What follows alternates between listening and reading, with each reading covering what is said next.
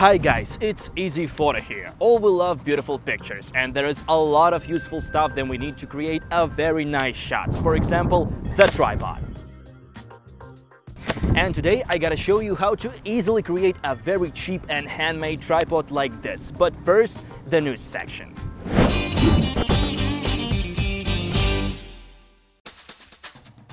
If you are a big fan of Leica or you just love very expensive stuff, then you'll be interested in this. German company Leica is going to release a really special camera, Leica Monochrom Silver Anniversary Edition. And I gotta say, this is not some regular camera with okay price. This is a real deal. It will cost 21,000 bucks. Damn, that's expensive. And it's only 25 cameras is gonna be made and only in Denmark and Sweden. I have found a very interesting camera on Kickstarter, the Lomo Instant. What is this? Well, it's a lomography camera, camera for people who love analog photos. Hipsters. Lomo Instant has a lot of features like 3 shooting modes, color filters, easy focusing and a lot of other nice stuff. Just check the Kickstarter video that you can find in the description below. Also, Lomo Instant allow you to create wide-angle shots, fisheye shots, and of course, portrait shots.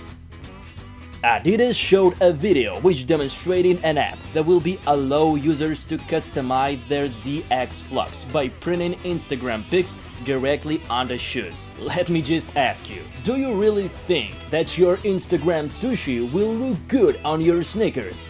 Well, if yes, this app is definitely for you.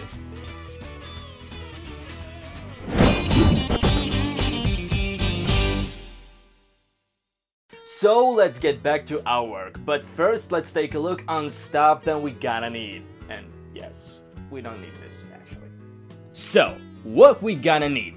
Three razors like this, one little screw that fits your camera screw hole, some glue, and little platform. In my case, it's made of wood. And yeah, see? The edge is little sloped. We gonna need this angle for our tripod. It's allow it to be stronger and more stable. You can make it with the simple rasp.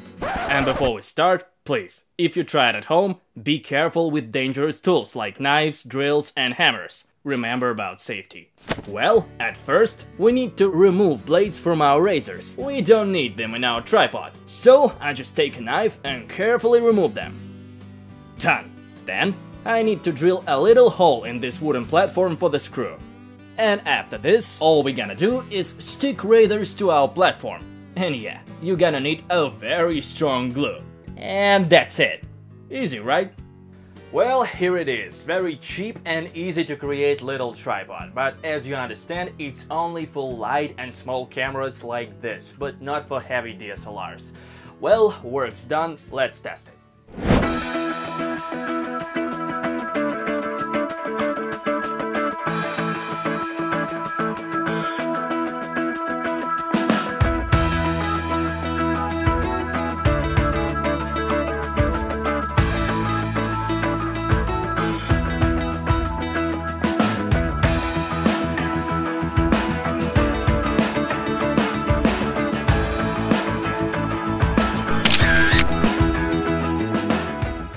Well, thanks for watching. If you have some questions or requests, please leave it in the comment section below. Be safe and stay with us for the new videos. Bye!